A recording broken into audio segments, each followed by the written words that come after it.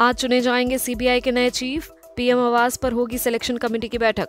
प्रधानमंत्री नरेंद्र मोदी की अध्यक्षता में होगी बैठक। मॉरिशस के प्रधानमंत्री प्रविंद जगन्नाथ पहुँचे प्रयागराज। परिवार समेत लेटे हनुमान मंदिर में किया दर्शन। कुंभ में वीआईपी के आने का सिलसिला जारी। केंद्रीय विदेश राज्य मंत्री वीके सिंह, यूपी कैबिनेट मंत्री रीता बहुगुड़ा जोशी सहित कई नेता रहे मौजूद। इसरो आज लॉन्च करेगा दुनिया का सबसे छोटा सैटेलाइट कलाम सेट। देश के पूर्व राष्ट्रपति डॉक्टर एपीजे अब्दुल कलाम के नाम पर है सैटेलाइट। ईवीएम पर उठे विवाद और बैलेट पेपर के माध्यम से चुनाव कराने की मांग के बीच chief election commissioner Sunil Arora का बड़ा बयान, कहा, हम बैलेट पेपर युग में हरगिज नहीं लौटेंगे।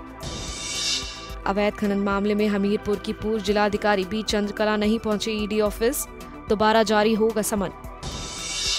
चंद्रा कोचर के खिलाफ एफआईआर दर्ज, वीडियोकॉन मुख्यालय समेत चार जगहों पर छापेमारी।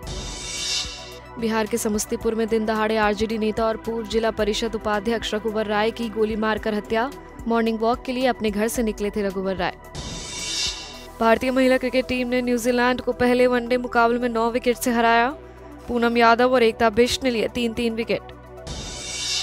आज देश भर में मनाया जा रहा है राष्ट्रीय बालिका दिवस। देश में लड़कियों के गिरते लिंग अनुपात के बारे में जागरूकता फैलाने और उनके साथ समाज में होती असमानताओं को दूर करने के मकसद से 2008 में शुरू किया था ये दिवस। एच एस न्यूज़, जहाँ खबरों का सिलसिला रुकता नहीं। लेटेस्ट न्यूज़ और अपडेट्स के लिए हमारे यूट्यूब चैनल को सब्सक्राइब करें और बेल आइकन को दबाना ना भूलें।